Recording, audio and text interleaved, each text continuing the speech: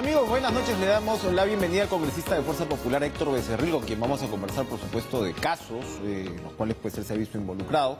Eh, se ha venido bien apertrechado, por lo que vemos, eh, con documentación. Pero primero queremos conversar pues, de la coyuntura inmediata. Congresista, gracias por estar con nosotros. ¿Qué tal, Enrique? Porque no lo teníamos por acá. Buenas noches. ¿Qué- Bueno, cuénteme pues de los mandiles rosados, congresista. La, la campaña esta está pensada para solidarizarse con la mujer. Han puesto pues mandiles a personal militar, a generales. Usted ha dicho que es un capricho, una guachafería, que el mandil es para ayudar a la esposa en la casa. La ministra de la Mujer, Gloria Montenegro, ha dicho eh, que, que- que, bueno, que es un honor ponerse pues el mandil al servicio eh, del país, en este caso eh, y que de ninguna manera pues supone una humillación. ¿Qué, qué nos dice? En primer lugar, eh, ¿Qué tiene de malo el mandil? sí, a ver, yo no estoy en contra de que un hombre sea militar, sea ingeniero, sea médico, sea congresista, se ponga un mandil y que sea rosado, sea blanco, sea el color naranja. de su corbata está bien bonito. Así es, eh, Está bien nos, rosado, nos identifica. este. Entonces, el problema no es el color y tampoco el problema es que se pongan el mandil. El problema es las circunstancias y el momento.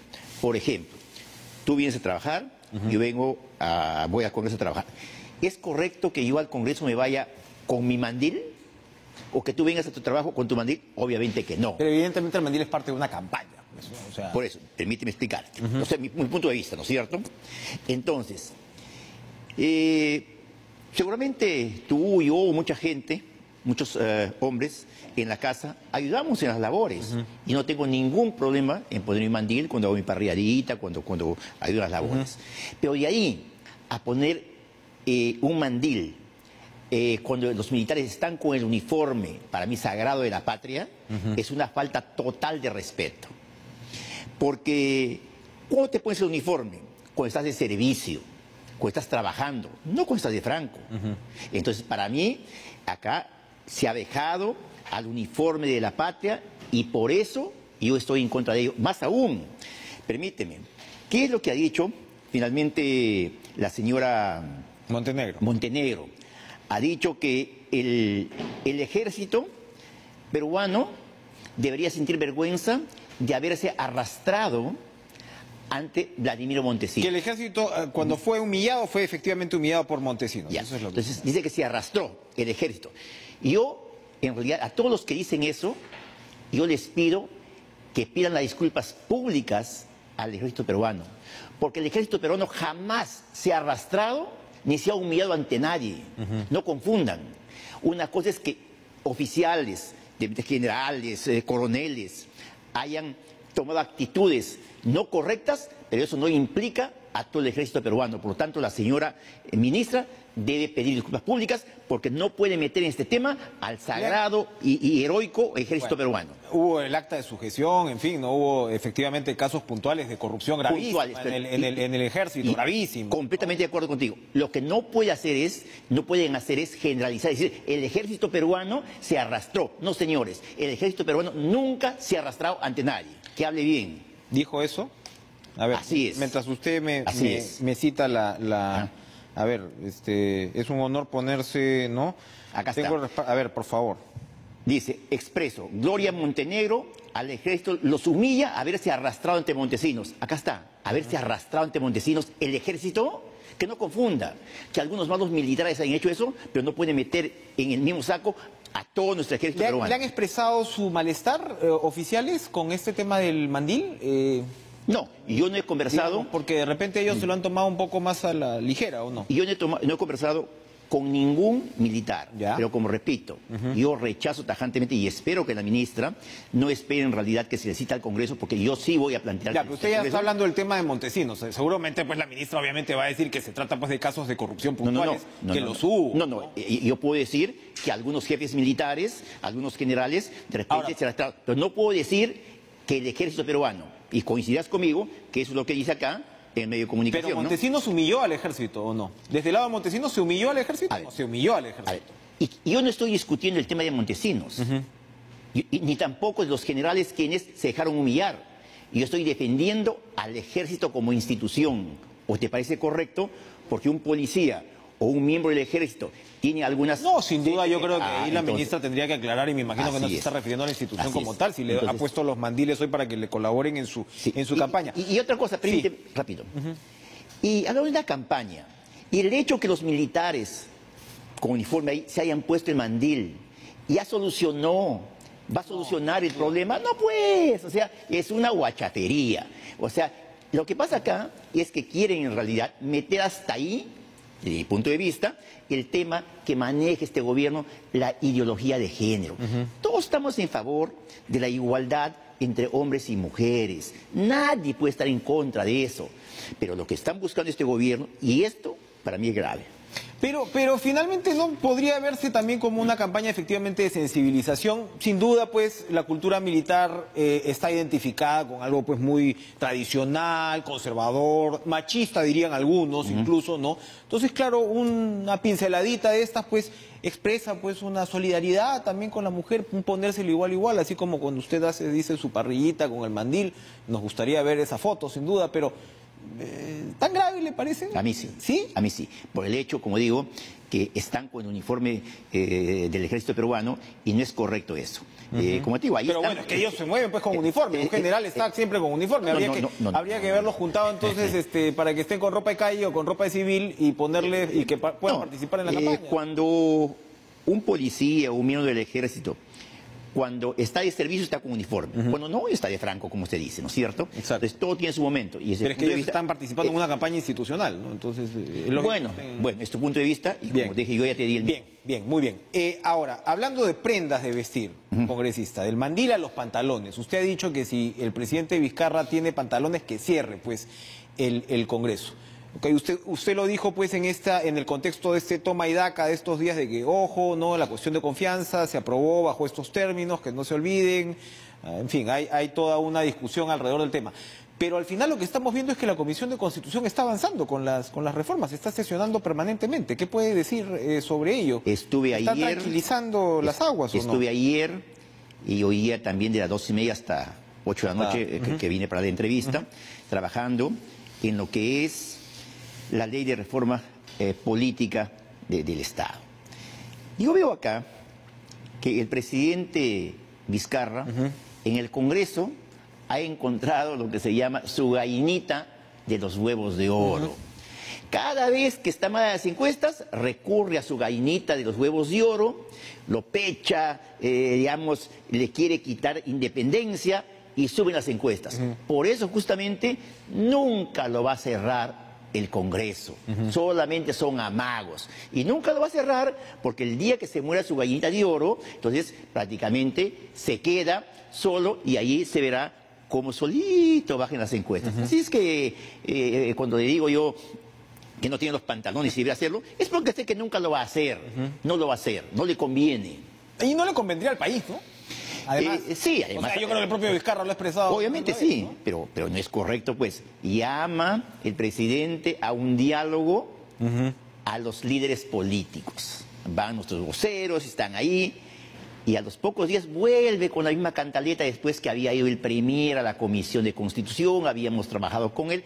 O sea, yo, yo en realidad eh, no entiendo eh, la lógica del presidente, salvo, como digo, subir en las encuestas. Se va a aprobar la esencia de los proyectos de ley, la que- ya que la palabra está de moda, con Sí. respe- a, a cómo el Ejecutivo la ha solicitado. Anoche Luis Iberico tenía una, eh, acá en el programa tenía una opinión, claro, de que por un lado decía, oye, efectivamente, pues ya la cuestión de confianza ya se dio, esto no hay una confianza retardada y demás, pero también el Congreso tiene que asumir, pues que le dio una cuestión o le dio una confianza bajo unos parámetros que están claramente establecidos en el discurso del solar.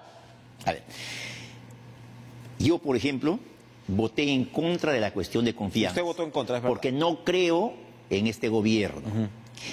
Y cuando le dimos, o sea, y hablo en general, en el contexto, eh, el voto de confianza, cuando el Congreso dio el voto de confianza, no le dio bajo ningún parámetro de un tiempo perentorio, ni tampoco se comprometió a guardar la esencia, Pero- como lo llaman. Pero hay un Sí. discurso del solar, ya no hablo de la carta, hay el discurso que que él habló, lo que él dijo fue que se, hará, que se haga en base a la constitución y el reglamento. Eso estamos haciendo. O sea, no hay ningún compromiso de ese tipo. Además, ¿en qué parte de la Carta Magna dice que se da el voto de confianza se aprueba, se vota en el Congreso y luego ellos lo van a interpretar. Eso, eso no dice ninguna parte de, la Constitución, eso es verdad, pero sí le da al presidente y al gobierno la potestad de solicitar cuestión de confianza casi por cualquier cosa y sí le da la potestad de presentar las reformas constitucionales. Ambas cosas. y que presente las veces que quiera el voto de confianza, que lo presente.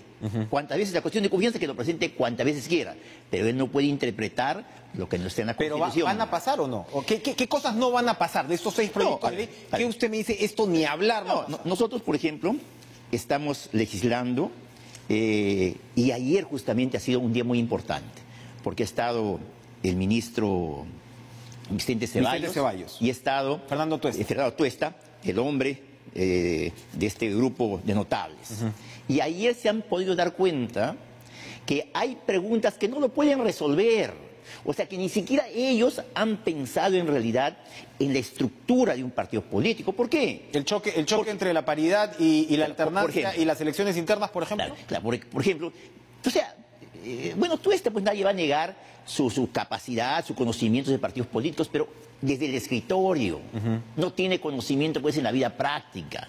No, por ejemplo, estuvo frente a la OPE cuando estaba el señor este Cabaza, pues, está preso. Está bien, pues. O sea, le tocó organizar un proceso bien complejo. ¿eh? Organizar un proceso que, electoral donde participan partidos políticos. Una institución que estaba corrompida precisamente por Montesinos. No, pero el problema es, como digo, no es eso, es militar en un partido político, organizar un partido político. ¿Y quiénes hemos estado ahí en la cancha? Yo tuve la oportunidad en el 2014, fui a siete regiones a organizar el partido político Fuerza Popular. O sea, y ahora, por ejemplo, ¿cómo va a compatibilizar, por ejemplo, lo que es la paridad y la alternancia? con, los votos de, la, ah, las Así es. Por ejemplo, hay dos votos.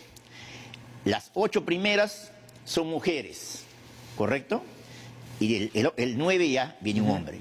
Que las elecciones democráticas no son sagradas, entonces a la que está en el número 2, la mujer, lo vas a pasar al número 10 para al, 10 pasarlo acá. Entonces eso no es correcto. Ese, es un punto. ¿Ve otro punto usted así complicado, complicado? Eh, en realidad, la esencia de los partidos políticos que dicen ellos, ¿no? Es que haya partidos políticos sólidos, fuertes, representativos en, todo el país. Hoy día, por ejemplo, acabamos de aprobar eh, un, artículo que va en contra de ello. Por ejemplo, antes había, se pedía 700... El tema de las inscripciones de los partidos. 700 mil firmas para poder inscribir un partido político. Ahora ya no hay como adherentes. Ahora se ha cambiado adherentes por militantes. 14 mil. Y, se bajó a 24 mil. 24 mil. Ah, han pasado a 24 A 24 mil, sí. 0.1%. A ver, no es un contrasentido. ¿Cómo tú, si es un partido político nuevo, que recién te vas a inscribir, cómo tienes eh, militantes? ¿Qué es la militancia? Es tener una acción continua en un partido político, hacer vida política. Y si el partido no existe, ¿cómo va a tener militantes? Entonces, ¿qué se ha hecho? Simplemente se ha bajado de 700 mil a 24 mil. Porque cuando tú presentas, vas a presentar una lista de 24 eh, mil personas, que en lugar de, que antes firmaban todos en bloque, ahora va a ser cada uno en una ficha, y muchos no tienen ni idea de la diferencia entre militantes y adherentes. O sea, simplemente va a haber una gran proliferación de partidos políticos, porque ahora sí, permíteme terminar con esto, ahora sí, todos los izquierdistas, los comunistas, que porque ahí todos se creen presidenciables, ahora recién van a tener, se ha hecho realidad el día de hoy, el sueño del partido propio. Todos van a tener su partido propio. Para Fuerza Popular, la izquierda se atomiza como... Así es, claro. Pues hoy acabo de... Puede quejar. No, no, acabo de poner un tuit. Eh, eh, que, eh, hagan vivas, pues, a, esta diáspora de, la izquierda que se va pero, pero, eso, pero eso no fortalece a los partidos Pero también es cierto que vas a tener que tener 280 mil votos para poder presentarte a las elecciones, porque si no se retira en estas famosas primarias. En fin, hay... Todavía... también es cierto, pues, que 700 mil firmas, pues, te daba pues, las firmas falsas de Montesinos otra vez, lo de Cabaza, todo ese tipo de problemas. Te, encanta Montesinos, ¿no? No, es que usted lo ha recordado, pues, a raíz de, Gloria Montenegro. Vamos, vamos a hablar para que nos alcance el tiempo, porque eh, sé que, usted quiere conversar además de algunos, de todo, de algunos casos. Eh, Yo converso de todo. El tiempo es escaso. A ver, Eh, usted ha señalado que el fiscal Juan Carrasco lo está persiguiendo usted, ¿no? Que porque ha solicitado una nueva investigación preliminar, entiendo yo, está esto relacionado con el tema de Huachiturros de Tumán, ¿verdad? En el tema de Huachiturros de eh, Tumán, bueno, eh, usted pues, eh, eh, para que recordarle brevemente a los televidentes, fue jefe de seguridad entre el 2006 y 2011 de Pomalca. Entonces hay una serie de acusaciones ahí. Hay otro fiscal que está metiendo, veo yo, eh, un expediente, Germán Montero, es otra investigación esa, ¿verdad?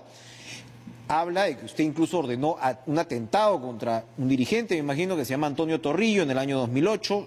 Lo acusan de desalojo violento de inmuebles. Y claro, ya Carrasco conecta con el tema de Oviedo, que usted benefició a Oviedo para que continúe al frente de esta administración.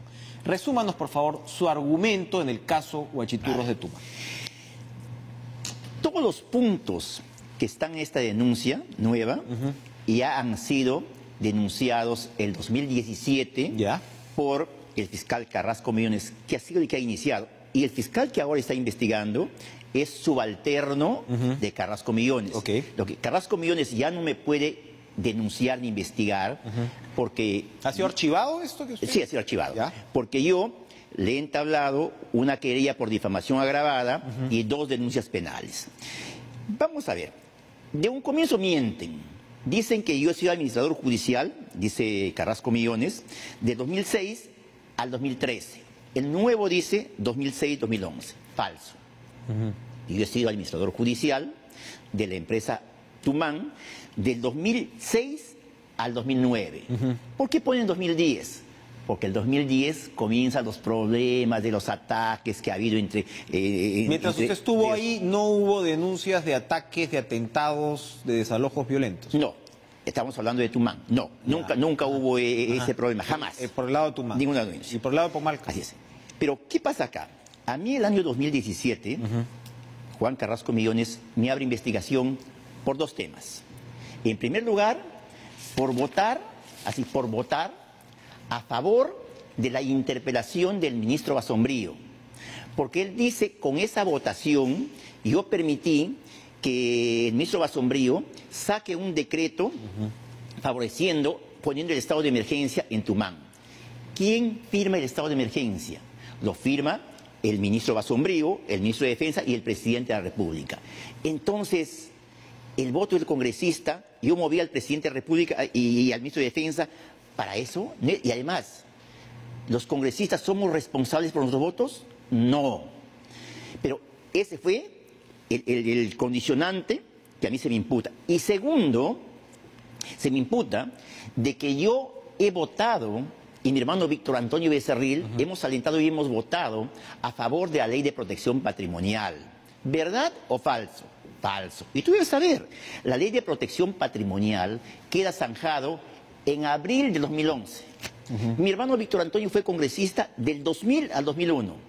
¿Podía haber votado él en, las- en el 2011?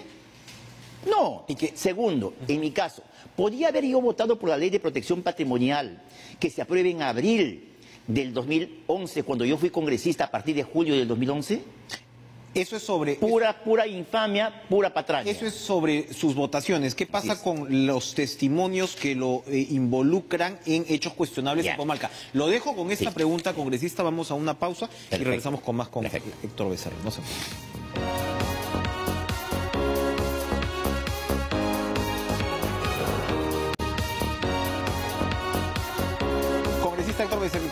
alcancen el, tiempo. En resumen, entonces, según su argumento, bueno, usted ya ha dicho el tema de las votaciones, ¿por qué no lo pueden eh, señalar en el caso eh, de Tumán?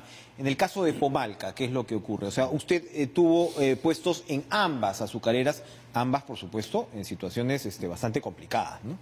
¿Qué ocurre en el caso de Pomalca? A ver, cuando el fiscal Carrasco envía estas imputaciones para formalizar mi investigación, el fiscal de la Nación, Pablo Sánchez, no otro fiscal, le dice claramente que él no me puede eh, investigar ni imputar, le dice porque los congresistas no somos responsables por los votos y él no es competente, porque él es un fiscal provincial y a los congresistas nos debe investigar la Fiscalía de la Nación vía un fiscal supremo. Como no puede investigarme allí, inventa nuevos hechos.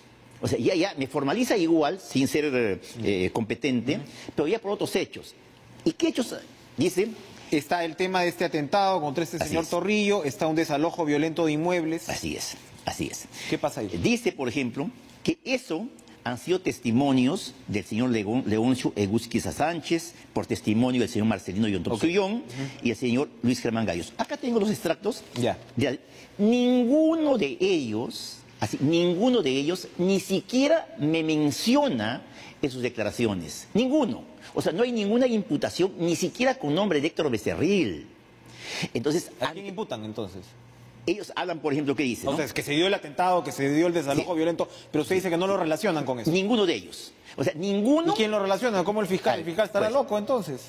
Eh, por eso justamente al fiscal yo lo he denunciado eh, por dos delitos penales. ¿Qué dice, por ejemplo, acá Leoncio Egusquiza? Dice, ¿no? Dice, eh, eh, la gestión de la empresa Tumán conformada por los Oviedo Pichotito y la familia Becerril Rodríguez. Bueno, la familia Becerril. ¿Ya? Pregunto yo, ¿me estás indicando? Y acá lo que dice es de que el grupo Oviedo está formado por los Oviedo y la familia Becerril Rodríguez. ¿Cuándo nosotros hemos sido parte del Trabajaban, del trabajaban Oviedo? para- para- Pero, pero- pero- pero no dice eso, ¿no Muy bien, muy bien. Ok, yo, yo quería pedirle por favor que, que siguiéramos porque nos quedan tres o cuatro minutos y hay Dime. dos o tres preguntas que yo quiero hacerle de todas maneras. Dime de tú. Preguntas, preguntas este, fastidiosas. ¿Qué pasó con la, el pedido de la Fiscalía de 20 años de cárcel para su hijastro? Cristian Astete Morales. Ese pedido se hizo hace casi dos años. A él se les indicó como encabezar una ah, sociedad pues que hacía cobros indebidos en el Poder Judicial. ¿Qué pasó con ese caso? Cuéntenos. por No te puedo comentar por qué. Porque mi hijastro hace muchos años no vive conmigo. Y si es que él tiene problemas con la justicia, son temas personalísimos y en todo caso... eh, No yo- tiene relación usted no, con él. No, ni tampoco... Pero, estoy- pero ni- no se ha dado una sentencia ni una absolución. Eso sí nos lo puede decir. Para ser, ser sincero, no, des- no sigo ese caso, no Ya. sé cómo está, no, no tengo idea. Me hablaba de sus hermanos. Entonces, en el caso de la familia Becerril, como usted la mencionaba, ¿no? Eh, en el caso del señor Cornejo Chinguel, que son ya los temerarios del crimen, ¿no? Eh, que es el exalcalde, en fin. Usted ha explicado por qué en su momento recibió al exalcalde entre el año 16 y 17. Era para un tema de eh, el fenómeno del niño, ¿no? O sea, el niño costero. eh, la, la reconstrucción del centro, a pesar de que este señor tenía denuncias, bueno, usted ha defendido su derecho como congresista a, a recibirlo. Muy bien. Pero entonces, en el caso de su hermano, Víctor Antonio, él reconoció haber pagado dos coimas por parte de esta señora González Yep, que a su vez dice que por intermedio de su hermano mm, se le pidieron pues beneficios para usted. A ver. ¿Qué nos dice de ese caso? Ya. En ese caso, el señor Víctor Yo Antonio te voy a Becerril ha reconocido ya su papel Ya. en este Yo tema te voy a pedir lo siguiente. de esta obra. No, no ha reconocido. Yo te pido lo siguiente. Por favor. Si me invitas a mí a tu programa, pregúntame de cosas mías. Ya. Porque eh, yo, yo no te voy a preguntar pues, de, de tu hermano, de tu primo, no. Yo respondo. No, no, es que no me parece de buen gusto en realidad que me invites a tu programa y me saques tema de un hijastro, tema de... A mí pregúntame lo mío. Ya. Y lo mío te voy a responder Ya, como siempre. Entonces ya me respondió lo de, lo de su hijastro, entiendo Así es. perfectamente. Pero en el caso de su hermano le pregunto con relación a usted, porque la señora no, González no, no. Yep- Pregúntame a mí, pregúntame a mí. la señora La- González Yep Así es. lo ha involucrado usted con su hermano Víctor Ah, es- Antonio. No es cierto. Esa es la No, pregunta. no es- es que no, no es no se cierto. moleste. por No, eso. es que no me molesta. Está bien, o sea, es que esa es la pregunta. Es que lo que tú dices no es cierto. A mí lo que se me imputa, esta señora, y, y- y por partes. La señora Mirta González Yep era representante comercial de la empresa CRD, ¿correcto? Cuando se descubre todos estos hechos de corrupción, a la señora le dan 36 meses de prisión preventiva. La señora se va y se refugia en Estados Unidos. Así es. Entonces, ahí es cuando sale todo este cuento, esta patraña armada entre la señora, que finalmente le dan eh, ya eh, libertad, le quitan la prisión preventiva a, a cambio de que me involucre, me incrimine. Y ahí ella dice dos cosas. Dice que a mí, por medio de, de un hermano, me dio una coima para, primero, que ella gane la buena pro de la planta de transferencia. Y segundo, para mantenerse ella eh, eh, eh, con, con la, con la obra en sí. Bien facilito. ¿Cuándo se dio la licitación para la planta de transferencia? Porque dice que yo le ayudé para que gane la licitación. Se dio en enero del 2017, ¿correcto? Y cuando se dio esa supuesta coima que ella dice, en abril del 2018, dice que ella dio esa coima para garantizar que gane la Buena Pro. Pregunto yo, o sea, yo en el 2018 viajé en el tiempo a garantizar una licitación que ella ya había ganado en 2017. Perfecto, perfecto. Queda claro entonces el punto ahí de la discrepancia de las fechas. Congresista, muchas gracias por acompañarnos. No, gracias a ti.